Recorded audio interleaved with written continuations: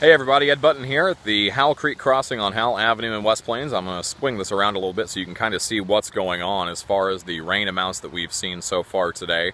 I believe we've seen 1.6 inches of rain so far in the West Plains area since midnight this morning, or last night, depending on what your uh, concept of time is. Now, the National Weather Service says we're going to get another half to three quarters of an inch of rain for the rest of the afternoon. We're going to get another one to two inches of rain tonight, and that should be the bulk of the rain that we're going to see in the region today.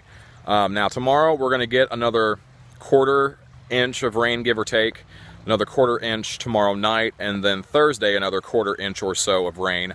Um, so we could get up to another inch in the next day and a half, two days or so, uh, but for the most part, once we get through tonight, things should be smooth sailing. Now, as you can see behind me here, I'm going to kind of move this over.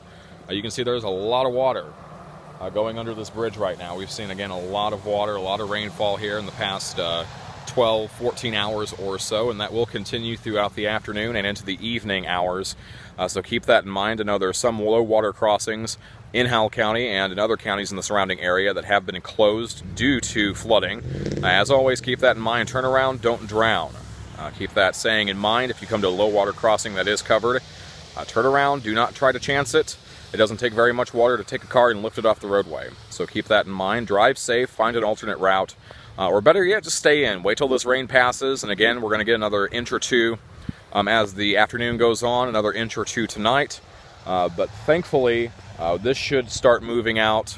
Uh, as you can see behind me, I'm not wearing a coat because it's just barely sprinkling right now. Uh, which is a very nice change of pace. So keep that in mind as you're moving around and driving about the Ozarks this afternoon. Uh, still some more rainfall to come, um, but if we can get through tonight, it should be uh, pretty smooth sailing from there. Ed Button for the Ozark Radio Network.